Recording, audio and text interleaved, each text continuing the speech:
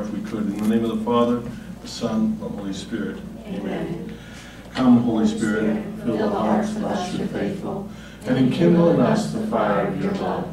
Send forth your Spirit, and we shall be created, and you shall renew the face of the earth. Let us pray. O God, who by the light of the Holy Spirit instructs the hearts of the faithful, grant that by the same Holy Spirit we may be truly wise and ever rejoice in his consolations. Through Christ our Lord. Amen. In the name of the Father, and the Son, and the Holy Spirit. Amen. Amen. Well, in the introductions, you learned my name was Deacon Tom, Tom Boucek. And um, my Cursillo, my fourth day, started about 7,181 days ago, which is nine- 19 years, seven months, and 27 days. Um, It was a milestone in my life, my journey, um, part of what got me into a collar, not, not a small part either. But when I was asked to speak, come to a meeting, I was asked to speak uh, about these three chapters. Thought that was, that was interesting. Okay, I like Matthew Kelly and like his work and enjoyed a lot of his things. But as I got deeper into it, um, I recognized that the chapters that you assigned to me are really a linchpin in this book. If you've read through the whole book, you understand what I'm talking about. Because even in the, in the second chapter, which is chapter 23, he even say, he states, I might as well tell you now, we have been dancing all around it. Jesus wants to turn your life upside down. And when I, when I read the book, and I got to these three chapters, it is a call. Is actually making a call. So I said, okay, I usually won't speak the way I'm speaking to you now. I will usually speak like this. Okay? Every word written out because I'm afraid of two things. One is saying something incredibly stupid, or two, preaching heresy, and someone's going to go to hell because of what they said. Okay, so I usually write everything out, study the daylights out of it. Well, I did that this time. I started down that road, and I ended up saying, you know, time to put your big boy pants on, and let's just turn it over to the Holy Spirit. You've studied, you know the material, uh, you put your information together, and this morning I got up about five o'clock, and I says, wait a minute, I've got work to do. I'm not finished yet. So I said, well, look, why not, uh, oh, wait a minute, I'll turn something on here for you. Why not take advantage of, and I'm gonna screw up your, your camera, I'm sorry. Why not take advantage of what's going on and what's available? And we said earlier, technology is great when it works, but it'll come, it'll come. Um, In the first chapter, Matthew Kelly starts off by saying, God has a mighty, awesome, wonderful transformation in mind for you. And that's, these three chapters are focused on life-changing transformation.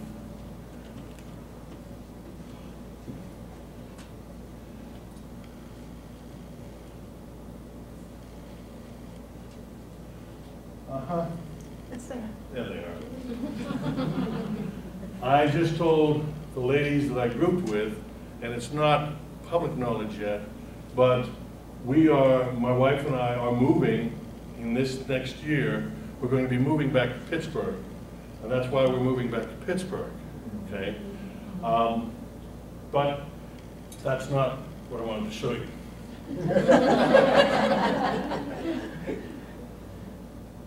What I want to show you is why not go to the source? As we talk about these three, why not listen for a little bit to the man who wrote them? and what he has to say. First we spend so much of our time sort of tweaking. You know, we pray for tweaking. Oh, dear God, please tweak this, and dear God, please tweak that, and, and tweak my husband, God, and, and tweak my kids, God, and tweak their soccer coach, and, and tweak our pastor, and, and tweak the politicians, and tweak this situation, and, and tweak that situation. And, and then, of course, very often I think we wonder, you know, why doesn't God answer our prayers? The answer is really simple. God's not in the business of tweaking. God's in the business of transformation. You know, God has a, a great, mighty, awesome, powerful transformation in mind for you, and a great, powerful, mighty transformation in mind for me. God, God is the King of transformation, and He, he, he desires transformation for us because He wants us to have an incredible joy. He wants us to have an incredible peace. He wants us to have an incredible happiness. One of the great challenges of our spiritual life is, is to switch from tweaking to transformation. And I think the sad truth is that most of us never once in our lives have we prayed a prayer of transformation. Most of us never once in our lives have, have come to God and said, all right, God, whatever you want. Everything's on the table. I'm 100% available. Transform me, transform my life. Take what you want to take, give what you want to give. I'll do whatever you ask me to, God. You want to see miracles in your own life? Pray that prayer. Because I can promise you one thing.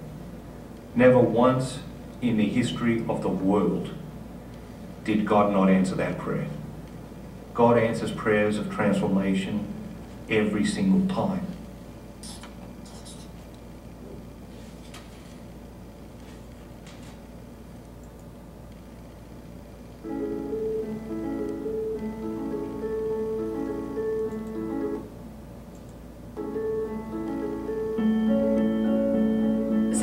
Pio once said, The life of a Christian is nothing but a perpetual struggle against self. There is no flowering of the soul to the beauty of its perfection except at the price of pain. If we think about any transformation, it always requires great sacrifice, and it's almost always painful.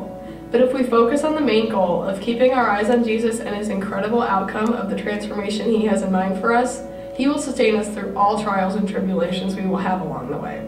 What will be the hardest thing about letting God transform you in your life?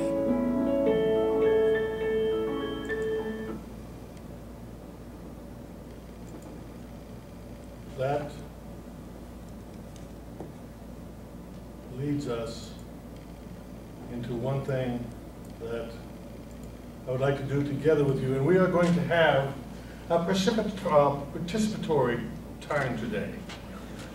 You didn't think I would get that out, did you? Probably. Um, by that I mean I would like very much for you to participate in a couple of ways. First of all, uh, let's pray together that prayer it's in the book, but if you don't have the book, I have it right there for you. Let's begin in the name of the Father, and the Son, and the Holy Spirit. Amen. Amen. Loving Father, here I am. I trust that you have an incredible plan for me. Transform me. Transform my life. Everything is on the table. Take what you want to take and give what you want to give. Transform me into the person you created me to be, so I can live the life you envision for me. I hold nothing back. I am 100% available. How can I help? Amen. In the name of the Father, the Son, and the Holy Spirit. Amen.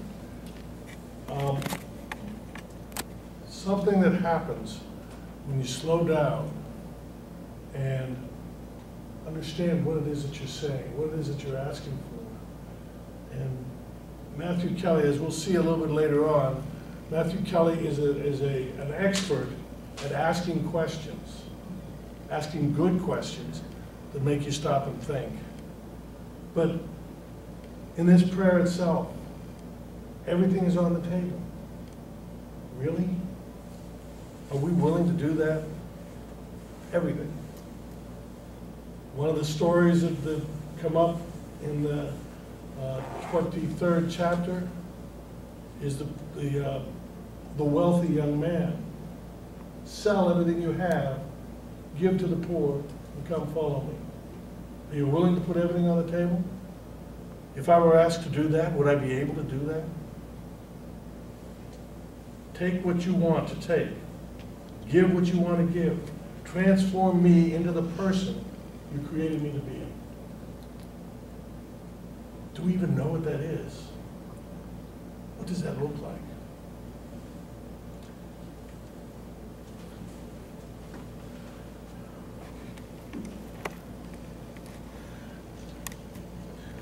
Transformation.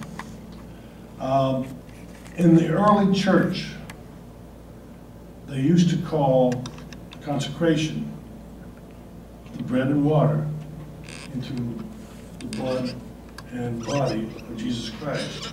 They used to call that transformation. It was Thomas Aquinas who came along and said, transformation, trans, change, formation, the form. The form is bread and wine. After the consecration, the form is still bread and wine. The substance, what it actually is, is the body and blood. And that's where the term transubstantiation came from. Change the substance of that bread and wine into the body and blood of Christ. If you want to see miracles in your own life, pray the prayer of transformation. The next chapter, the upside down.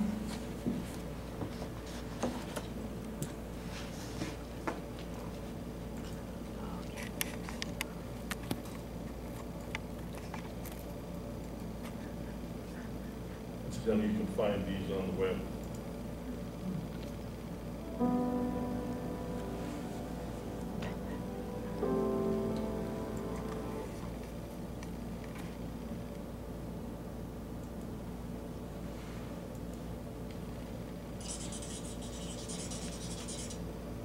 somewhere deep inside, we know that Jesus wants to turn our lives upside down. And maybe not every aspect of our life, but certainly at least one or two aspects of our life. The truth is, Jesus wants to turn your marriage upside down. He wants to turn your parenting upside down. He wants to turn your family upside down. He wants to turn your work upside down. He wants to turn your career or your business upside down. He wants to turn your parish and your school upside down. He wants to turn your personal finances upside down. He wants to turn your health and well-being upside down. He wants to turn your ideas and opinions upside down. Jesus wants to turn your life upside down. If you let him, you'll be happier than you ever thought possible in this lifetime. If you let him. But that's the great challenge, right? Is, is to allow Jesus into our lives. And I think sometimes we sort of keep Jesus at arm's length because we don't want him to get too close because we know He wants to transform us and transform our lives. The truth is, that's a, that's a scary reality. I think that frightens us sometimes. And, and that's okay, and it's important that we acknowledge that so that we can get beyond it. The truth is, we're all the rich young man. You know, our, our wealth might not be worldly wealth, but we're all the rich young man in, in something, in some way. We all have riches. And, and so we can identify with this young man there's a number of things, I think we've heard the story a thousand times, but there's a number of things about the rich young man that really strike me. One is that yeah, he proactively sought Jesus out. Okay, Jesus didn't come looking for him. The rich young man proactively sought Jesus out, which suggests to us that, you know, he, he wanted to be a good person. He wanted to strive spiritually. He wanted to grow in his faith. And he, he proactively sought Jesus out. I think the question that raises for us is are we proactively seeking Jesus in our lives, or are we just sort of stumbling upon Jesus at different moments in different experiences of our lives?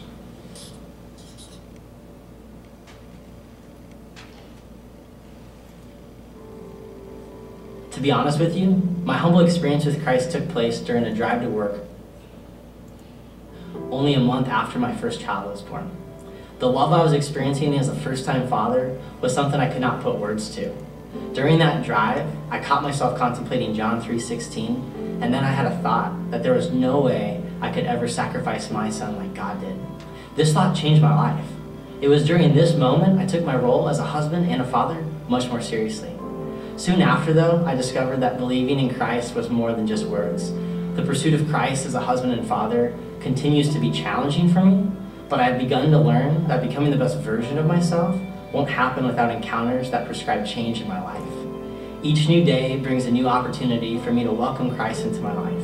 And the fact that I'm still breathing leads me to believe I have many encounters still to come. Do you look for those opportunities? What's preventing you from making yourself available to God?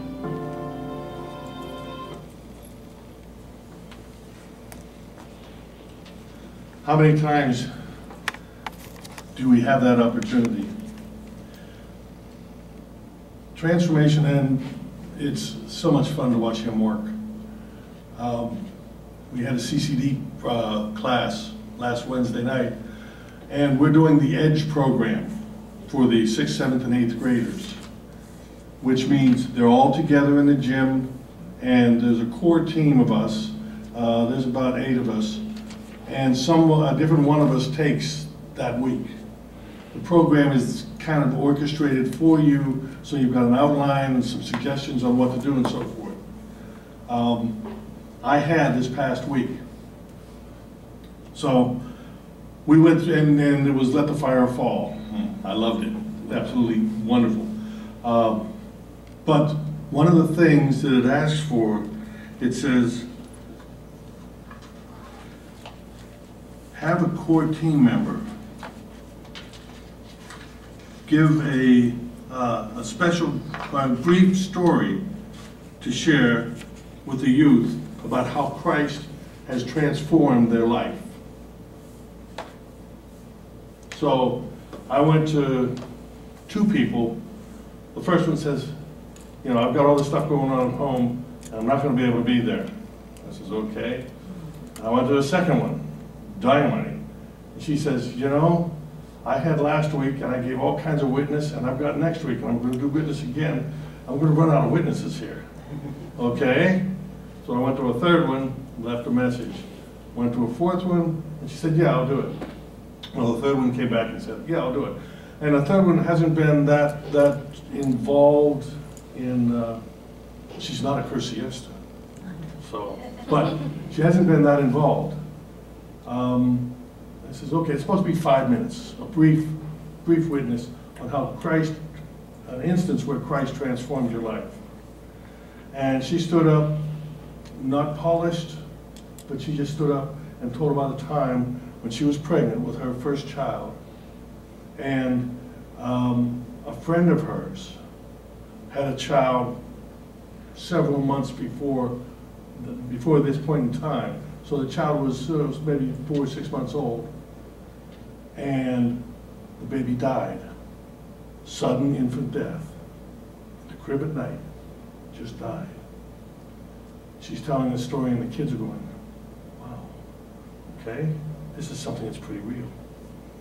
So she says when she had her baby, she was scared to death for the rest of the pregnancy. And when she had her baby, she couldn't sleep.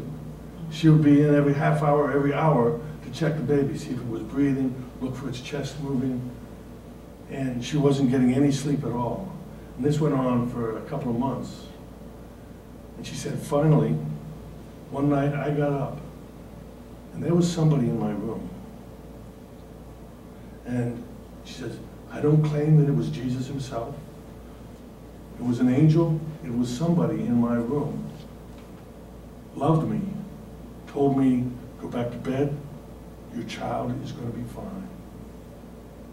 She went back to bed, slept like a baby, and from that point on, never had any concerns about whether her child was going to make it through the night. And she said, spiritually, that changed her dramatically. She had, she had a feeling of closeness to a deity, to our God, to Jesus Christ, to the Holy Spirit that she had never had before. The kids were just sitting there with their mouth open going, wow. You actually were visited by an angel? Hmm. Talking about angels, I, TMIY every Saturday morning. Last Saturday morning, we were talking about angels for some reason at our table. At TMIY, you go through a video presentation, you have a little fellowship video presentation, and then small table, small group talks, just talking about the, the video. And we somehow we got on angels, and one of the fellows at the table said, that would scare the, big guy, said, that would scare the daylights out of me to see an angel. I says, well, go to the Adoration Chapel. I says, they're there all the time. And then all of a sudden, my phone, which I hadn't turned off, started, my phone rang. And everybody jumped at the table. I turned it off. But then he says, do you know what that is? That, that tune that you have on there for your ring? No, I had no idea what it was. It was a tune. He says, That's called Bad to the Bone. Whoa. He says, we ain't gonna mess with the deacon anymore. Anyway, um, this is one of the places where I would like to invite you to consider. What was one of those transformation times in your life? And I'm going to ask anybody who will volunteer to come up and share. We had one that was shared in a small group, so I know there's one out there, but I'm sure there are many more. Um, anyone who would care to share that particular moment, and it doesn't have to be, we're not talking about your whole world changed, the total transformation, but there are small pieces of transformation that happen in our lives. Now, not all at once, but who wants to be first? Come on.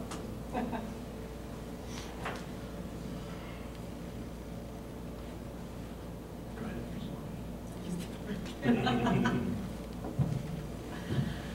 Ah, Talk about not being prepared.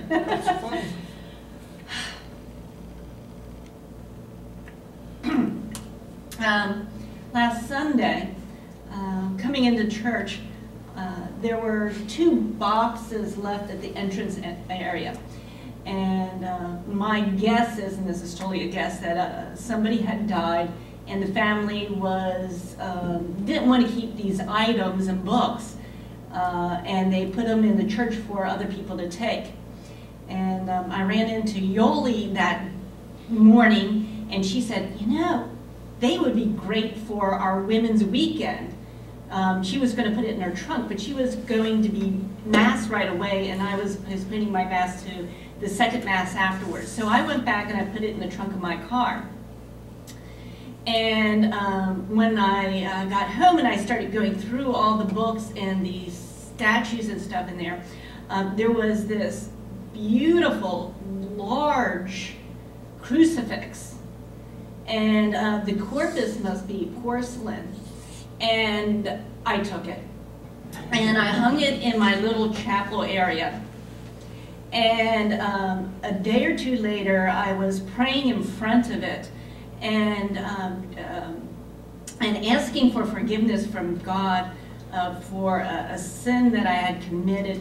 And um, this corpus, as gorgeous as it is, has a slight flaw where the body is just a little bit off of the cross itself.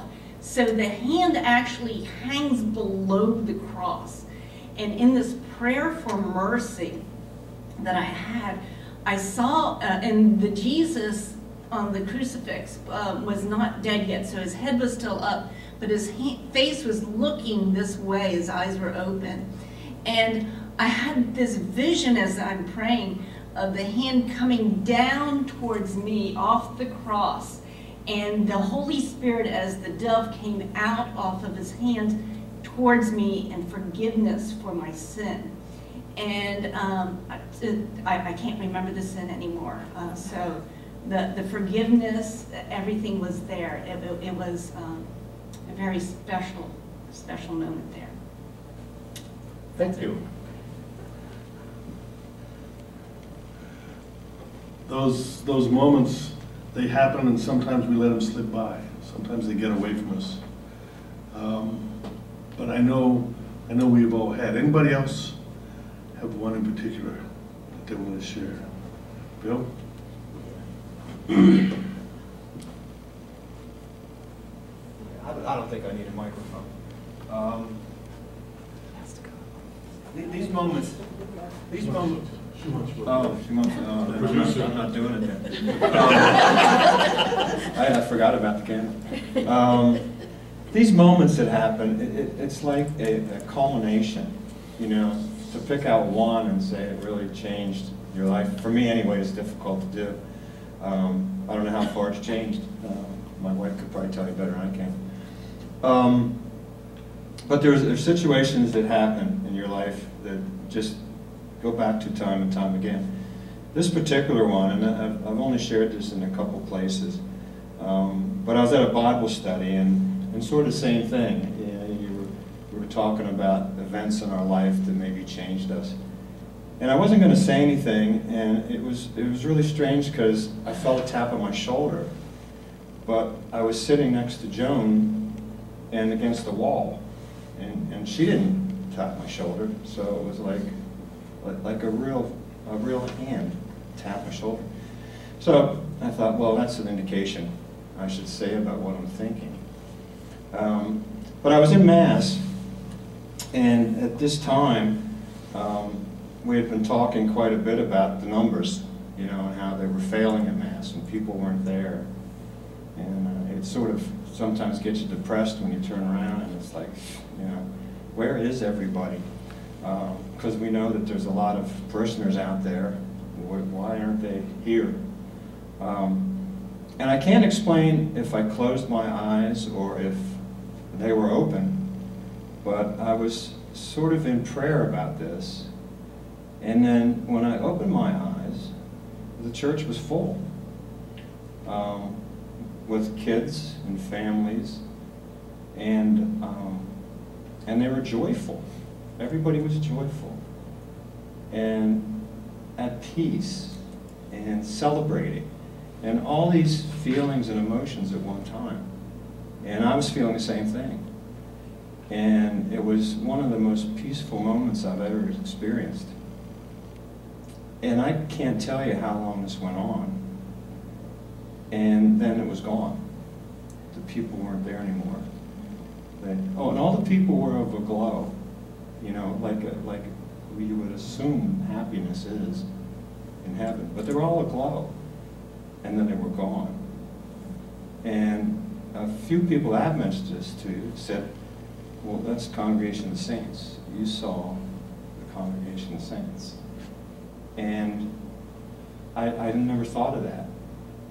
So it was an experience that I go back to from time to time because it's, it's, uh, it's a feeling that you, you can't explain, you know. I mean, I've had joys in my life. I've been very blessed. But that was, that was a, a moment that was so out of this world experience that it's something that you all never forget. So, so thank you. You all are making this easy on me. Thank you very much, Bill. Um, I have a terrible memory. And these things happen in my life, I'm sure. They've happened much more than I recall. There is one in particular that I recall, and some of you I know have heard it. But I was in chapel, and I was doing the Ignatius type of meditation where you put yourself right there in your mind, in your imagination, you put yourself there. And I was sitting on a grassy hillside, and Jesus was sitting just up the hill from me. And he had just finished telling me the parable of the prodigal son. And we were just kind of sitting there thinking about what he had just said. And then I turned and I looked up at him, and I said, Who do you say that I am? And I still get chills when I repeat that. I am turning his words back on him. That's what he asked his apostles. Well, um, it wasn't but maybe a few weeks later where uh, a gentleman whose brother was a Jesuit uh, was visiting him and he called me to come over because I said I wanted to talk to him. And I talked to this Jesuit priest about this experience that I had. And Of course, his question to me was, what did Jesus say to you? I said, I don't know. I was afraid to listen because I thought I knew what he was going to say and I didn't want to hear it. Well, that put me into meditation for a while, thinking about it. And I hope I figured it out. Because this was before I ever went into formation for the diaconate. But um, still listening, still converting, still transforming uh, every day. One of the ones, one of the, um, and you talk about uh, the next one, the next chapter. It's called The Gap. Let's hear from Matthew first.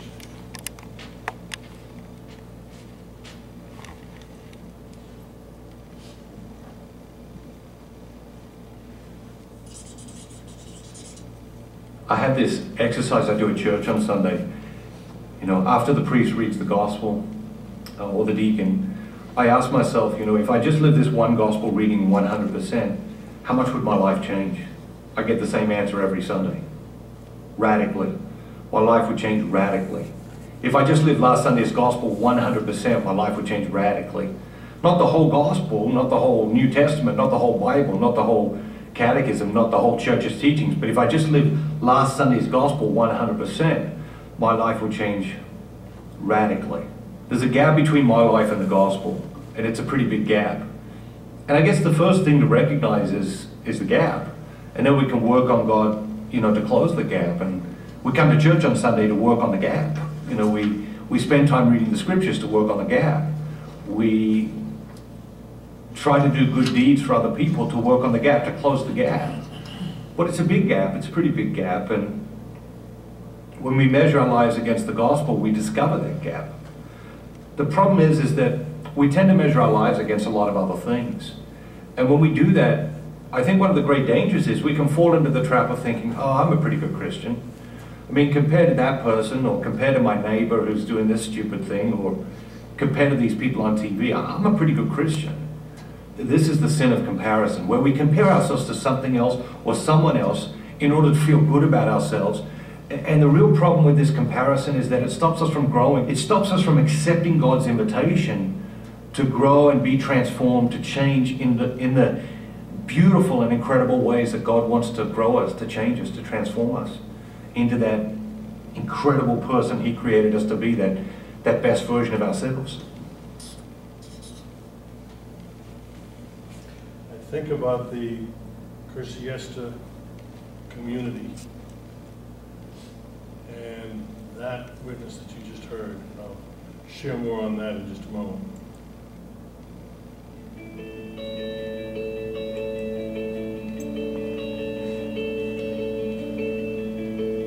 I know that God is the only one who can give me true and pure happiness. Happiness that is not fleeting. Despite knowing this, I find myself resisting this gift and then asking why. The reality is, beautiful happiness that is promised to us by God requires work, remaining close to Him and living our lives according to the Gospels. I resist because I grow lazy in my spiritual life, viewing a relationship with God as too much work. I always come back to the same realization. No efforts are too big or too hard in exchange for happiness from God. I love to think of the words by St. Paul the Cross when I need motivation and encouragement. Happy the heart that keeps itself on the cross. Happiness from God is always waiting for us, and it is never too late to accept it. Take time to reflect on today's question. Why do you resist the happiness that God wants to fill you with?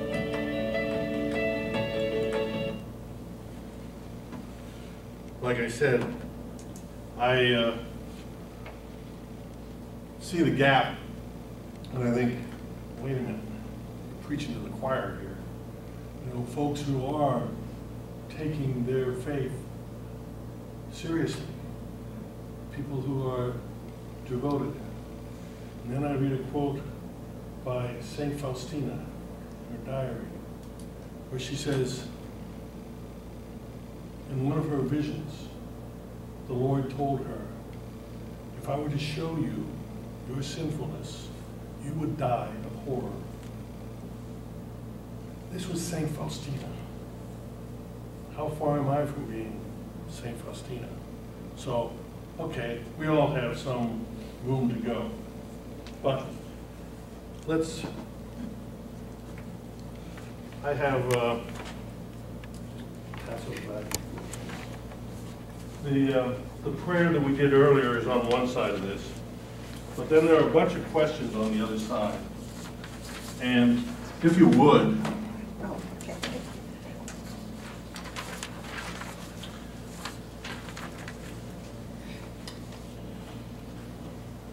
how do you fill the gap? If you recall, he gave us four areas to fill the gap. Read the four Gospels, practice the prayer process, deny yourself, and practice spontaneous prayer. That's the next four chapters, so I'm not going to take somebody's thunder on that. But if you would, take a moment. These aren't going to be collected, these are for your use. But take a moment, if you have a pen or pencil, respond to these questions. And we'll go through them one at a time. The first one, how well do, you, do we know Jesus? Who does he say that you are? The question is, are we proactively seeking Jesus in our lives, or do we just seek him in times of need?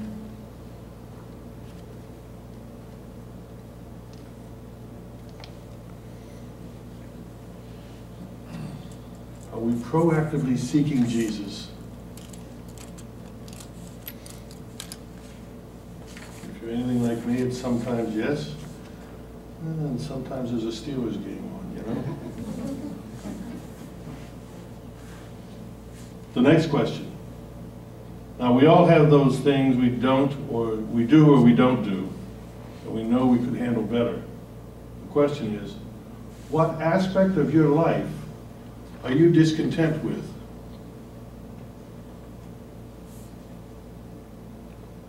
What is there in your life that you're just not happy with?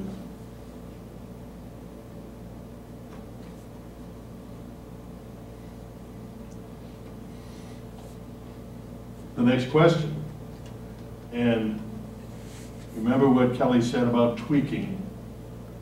Are you willing to have God completely overhaul your life and totally transform you? I don't need transforming, I just need to change this little thing or that little thing. Really?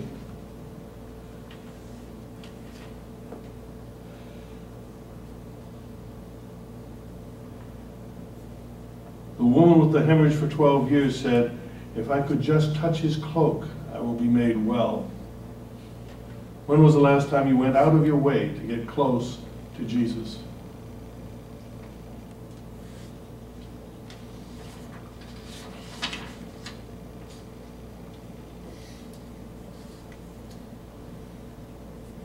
And we all have fears and foibles, and our faith may not have moved any mountains lately. But what's preventing you from making yourself totally available to God? What's in your way?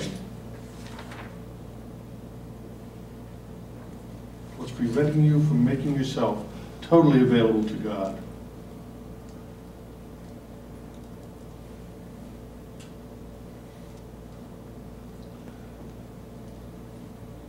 Now, Jesus has been transforming lives of men and women and children in every corner of the world. He wants to radically transform you and your life.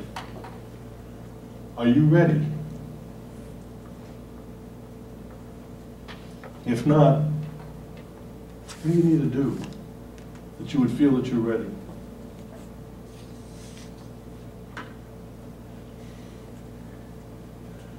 Many times, if not always, change or conversion comes at a cost. What will be the hardest thing about letting God transform you and your life?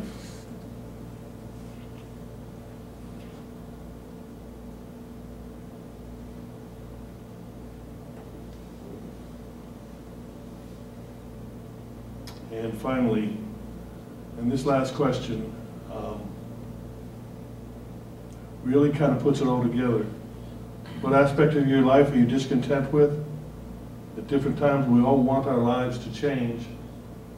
How would you like your life to be different one year from now?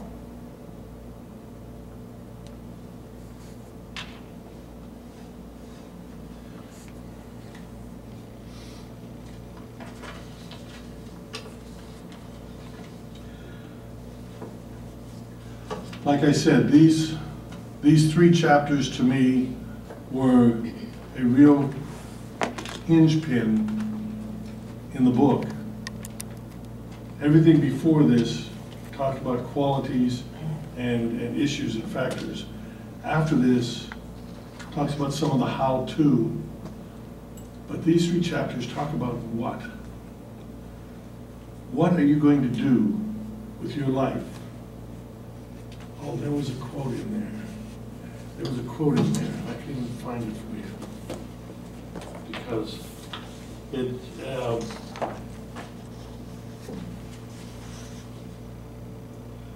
it reminds me of a story I once heard about twins in utero.